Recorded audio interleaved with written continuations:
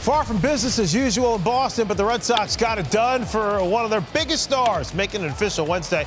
Devers signed, sealed, delivered to the tune of 11 years, 331 mil. After trading Mookie Betts in 2020 to the Dodgers and letting Xander Bogaerts leave for San Diego, Boston finally gets in the game and keeps Devers, but it cost him some serious bank.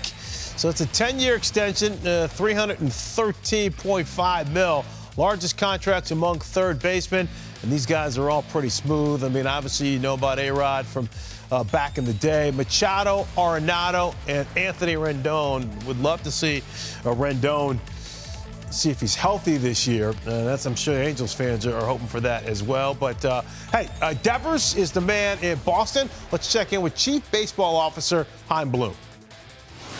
Um, every organization dreams of developing star players. Rafael Devers is a star. He's not just a star, he's our star. It's a wonderful thing to retain a homegrown player who loves Boston and who Boston and Red Sox Nation loves back. Mm. Happy to be here today. Um, thank you to Red Sox Nation uh, who adopted me since I was 16 and um, have, have also been a big help in getting me to this point. This is the organization that has given me everything, um, so that was a factor. Um, but also, free agency isn't easy, and it's a tough process, and I just didn't want to have to go through that. No, eso nunca puede cambiar. Yo I just want to be the same guy that I've always been, someone who has fun, someone who um, enjoys the game, who's, a, who's approachable. I love what I do. Um, I'm happy to play here, and um, that that hunger will won't subside. It'll it'll it'll be maintained because I just love playing baseball and I love doing it here. What a joy to watch. I mean, this guy's just 26 years of age. He's a baby. And look at his MLB rank since the 2019, and they are literally off the chain. I mean, in every offensive category that is uh, worthwhile, Devers is up there in the top 10 and in most of them the top three. So kudos to Chaim Bloom and the Red Sox for locking up their third baseman, uh, Rafael Devers. Back inside Studio 3 with the Carlos and Mike. I am Fran. Those cheeks were rosy, man. I mean, he's showing those teeth. This guy is happy, and why not? Uh, 300, what, the 30 total mil, 331. This guy's always, Carlos, been a great hitter. Yeah, so consistent, and he's been a, always a, a, great hitter ever since he was a kid, man.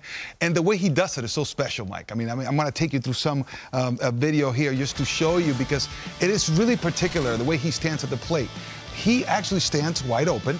But then when he strides, there's a placata there on the upper and innermost parts of the, of the zone. And then this one, still middle in, and he's able to go the other way with it. But this is how he does it. This is why this is so special. He stands open at the plate, right? He's open. This is the pull, the ball he pulled for a home run. So it stands open. But this is the thing. He's going to stride open. That's called stepping into the bucket, right? They used to tell us, don't do that. Placata. That's the way he goes about his business. When he pulls the baseball, it's open here. He's got clear uh, pathway to the baseball, and then going the other way. This pitch is not away. He's still stepping into the bucket slightly, slightly open. This pitch is middle in slightly, and he's still able to hit it out for a home run. He is such a great hitter. The angle he creates, he's able to let that ball travel so deep into the zone, taking advantage of the green monster. I mean, he is tailor made for Boston. These hmm. pitches here, he's almost taking that out of the catcher's mitt. Stands open, but he's going to stride open again, Mike. Watch. Look, striding open allows him to hit this baseball way deep in the zone. He's hitting it off his back leg, and I can prove it to you. Check this out. That's off his back knee.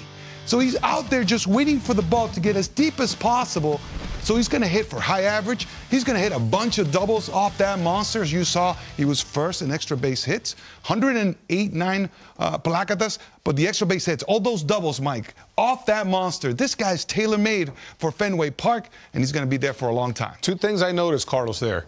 When you show his head, although he kind of has a big stride, his head stays very still, and that upper body is still coiled. Even yes. though he's maybe slightly open with the hips, that upper body is still coiled. And when he releases, I mean, it, I think it, al- it almost allows him to manipulate the baseball because that ball inner third, you can hit it with power to right center, to center.